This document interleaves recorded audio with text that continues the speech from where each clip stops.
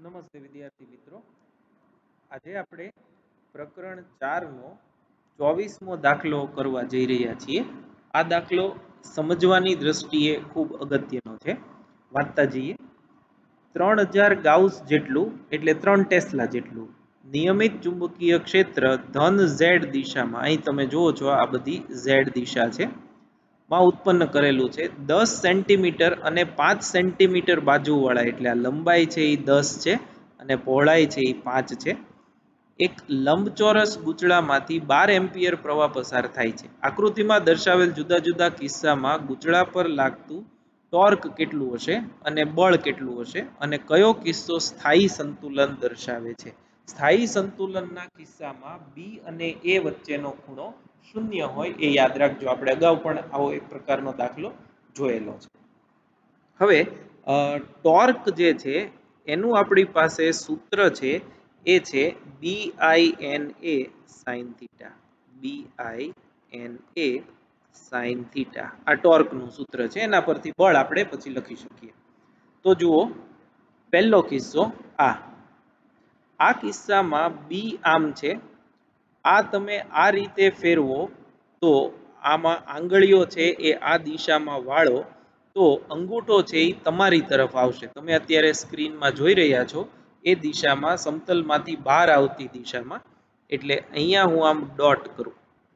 એટલે આ કિસ્સામાં જે ડાયપોલ મોમેન્ટ છે એમ એ સમતલને લંબ અને બહાર આવતી દિશામાં મળે. તો ટૂંકમાં બે બંને વચ્ચેનો ખૂણો બી અને એ વચ્ચેનો ખૂણો નાઇન્ટી ડિગ્રી થાય. અહીં સોલ્યુશનમાંથી જોજો. તો એ કિસ્સામાં ટોર્ક બી પોઈન્ટ ત્રણ ટેસ્લામાં બાર એ પ્રવાહ છે. બી આઈ એન એક જ છે ગૂંચળામાં આટાની સંખ્યા. એ five into ten raise to minus દસ ગુણ્યા પાંચ એટલે પચાસ ten raise to minus four એટલે હા અને સાઇન નાઇન્ટી તો એ આટલો જવાબ આવશે.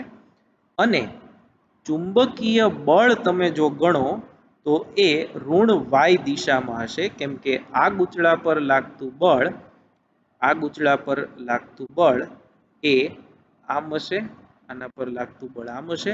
પણ આ દૂર છે એટલે પરિણામી બળ આ દિશામાં હોય એટલે આ એફ થયું. હવે એવી જ રીતે તમે સેકન્ડ કેસ જો જુઓ, આ કિસ્સો તો એમાં પણ સેમ આવશે, કોઈ ફેર નહીં પડે. ટોર્કે એનું એ અને બળ પણ ઋણ દિશામાં. કેમ કે આપણે ખાલી પૂતળાને ઊભું હતું, એમાંથી આડું કરી નાખ્યું, એટલે એમાંથી કોઈ ઓરિએન્ટેશનમાં ફેર પડતો નથી. ત્રીજો કિસ્સો જે છે, એ તમે જુઓ, આ કિસ્સો. તો એમાં પણ ગૂંચળું જે છે, ત્રીજો કિસ્સો આ. એમાં આમ ગૂંચળાને તમે ફેરવો તો ક્ષેત્રફળ સદિશ જે છે એ આ દિશામાં આવશે. આ એનો ક્ષેત્રફળ સદિશ થયો. એ અથવા તો ડાયપોલ મોમેન્ટ એમ. તો આમ તમે ફેરવો તો આ દિશામાં, સોરી, આ દિશામાં તમે જો ફેરવો તો એ આમ આવશે.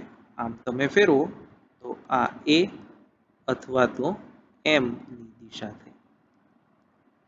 તો આ કિસ્સામાં પણ બી અને એ પરસ્પર લંબ થયા.